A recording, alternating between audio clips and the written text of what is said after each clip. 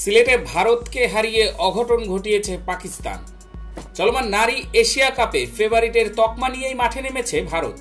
টুর্নামেন্টে নিজেদের খেলা প্রথম তিন ম্যাচের তিনটিতেই জিতে প্রমাণও করেছিল ভারতীয় নারীরা। তবে ভারতকে হারিয়ে এশিয়া কাপে দ্বিতীয় অঘটনের জন্ম দিল পাকিস্তান। নারী এশিয়া কাপের মঞ্চে ভারতকে রুদ্ধশ্বাস ম্যাচে তেরো রানে হারিয়েছে পাকিস্তানিরা। সিলেটের টসে জিতে আগে ব্যাট করতে নেমে ছয় উইকেটে একশো রান তুলেছিল পাক নারীরা। জবাবে একশো চব্বিশ রানে অল আউট হয়ে যায় ভারতীয় দল।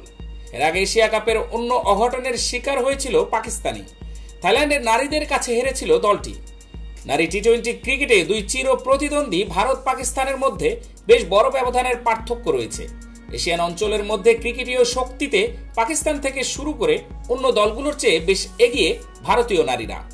পরিসংখ্যানও সেই কথা বলবে। ভারত পাকিস্তানের মধ্যে মুখোমুখি হওয়া বারো টি টোয়েন্টির দশটিতেই জয়ী দলের নাম ভারত। পাকিস্তান জিতেছে মাত্র দুইবার। শেষবার জিতেছে ছয় বছর আগে দুই হাজার ষোলো সালের মার্চে। ফলে নারী এশিয়া কাপের মঞ্চে ভারতের বিপক্ষে পাকিস্তানের আজকের জয় এক প্রকার অঘটনই বলা চলে। সিলেটে দিন পাকিস্তানের দেওয়া একশো আটত্রিশ রানের লক্ষ্য তাড়া করতে নেমে ব্যাটিং ব্যর্থতায় দুই বল বাকি থাকতেই অল আউট হয়ে যায় হারমানপ্রীত কৌরের দল। ভারতীয়দের কোনো ব্যাটারি এদিন বড় স্কোর করতে পারেননি।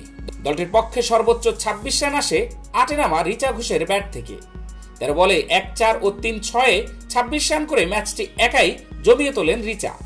তার বিদায়ের পর ভারতীয়দের হার এক প্রকার নিশ্চিতই ছিল। রিচা ছাড়াও ভারতের পক্ষে হেমালত করেছে বিশ রান। এছাড়াও চার ব্যাটার ফিরেছেন দশের ঘরে। পাকিস্তানের পক্ষে নাসরা সান্ধু তিরিশ রানে তিন উইকেট নেন।